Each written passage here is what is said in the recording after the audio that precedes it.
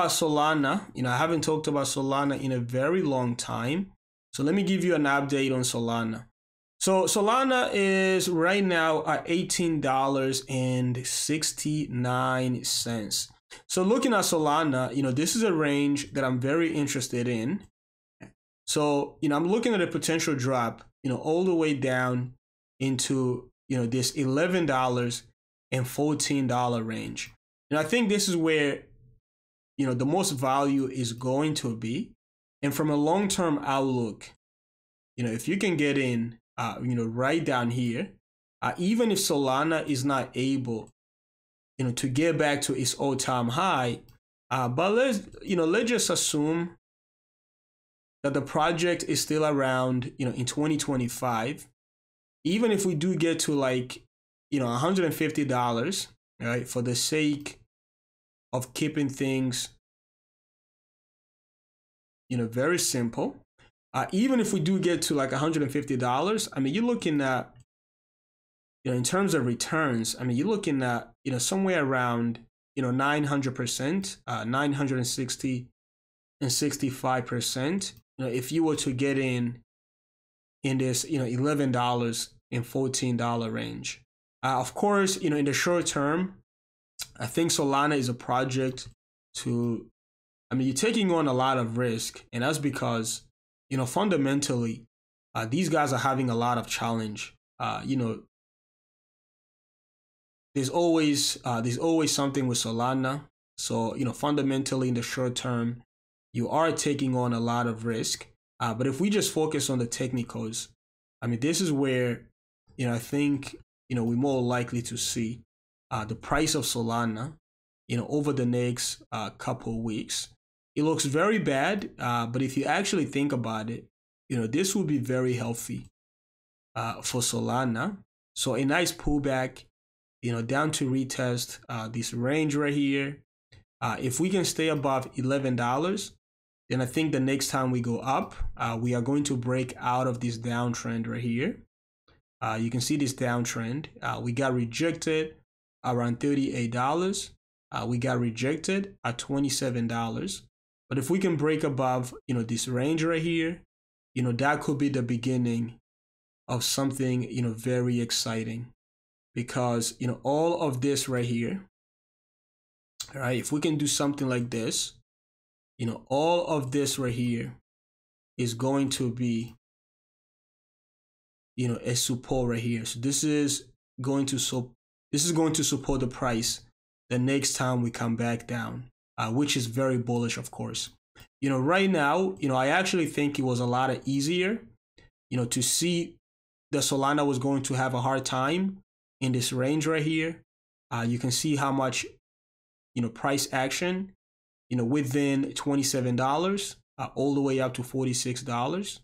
And also considering that this is a project that had a big rally from eight dollars, you know, all the way up to twenty uh, to twenty seven dollars. In the short term, you know, this was never going to be sustainable. All right, and I think this is why, you know, if you look at the aftermath, you know, after a couple weeks later, I think this is this is why we have this, you know, this big pullback.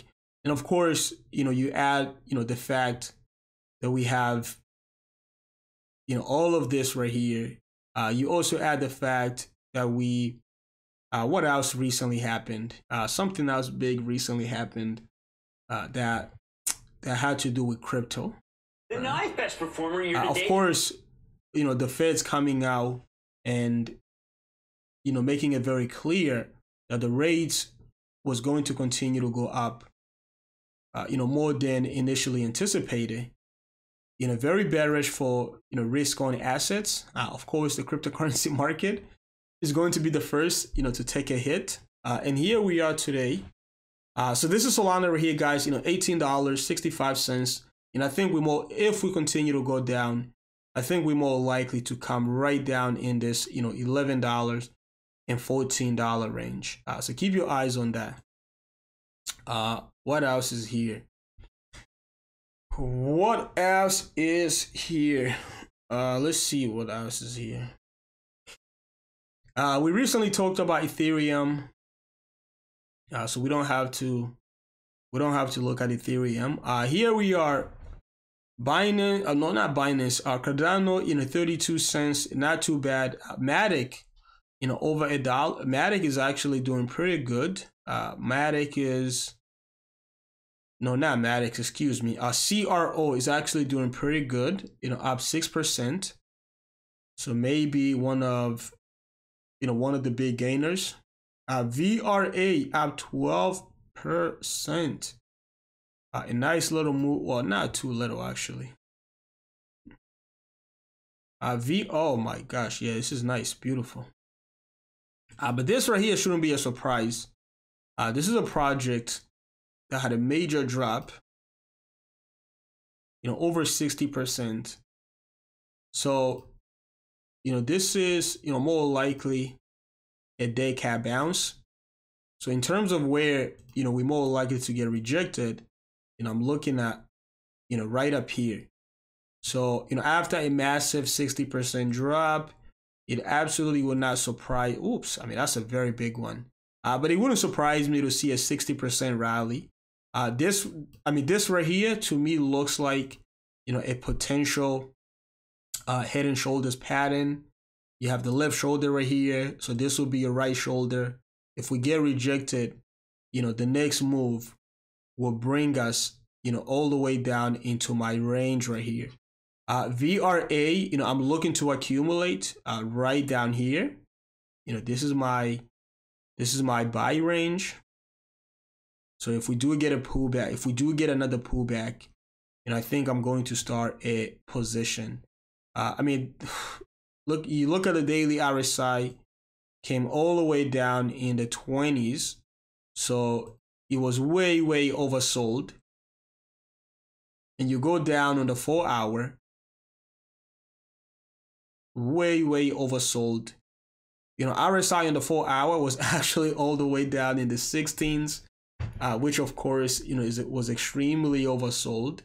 So not surprised, you know, to see this nice little pop, right? But again, in the grand scheme of things, you know, this is really, you know, nothing more than uh, a dead cat bounce. Uh, you know, rallies like this, you know, more often are going to rip your face, right? You know, very sharp, very big, but eventually, you know, eventually they are going to come to an end, you know, sooner or later, and you are going to see, you know, another move like this, you know, down to retest, you know, these areas right here. So that is VRA, VRA. Uh, I think uh, we have been live for for a while right now, right? We've been live for a while right now. Oh man.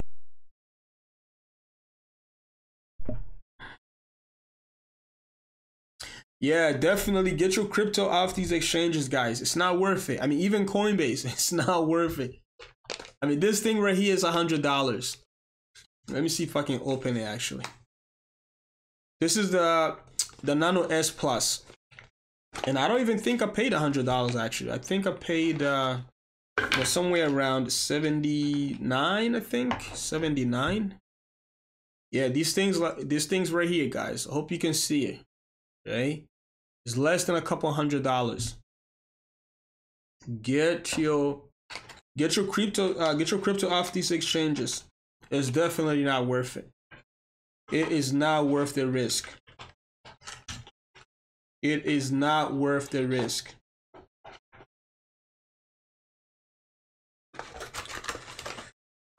Get get your crypto off centralized exchanges. It is not worth the risk. You know, not your keys, not your crypto.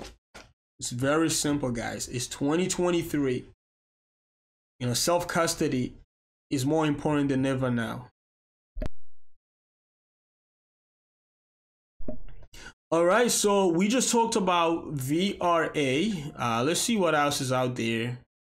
Uh, we, I mean, we talked about so Coinbase. You know, Coinbase is one that I'm very bullish on. Uh, my average, I added onto my position my average price right now is around uh, 55 or 53 dollars so somewhere around here basically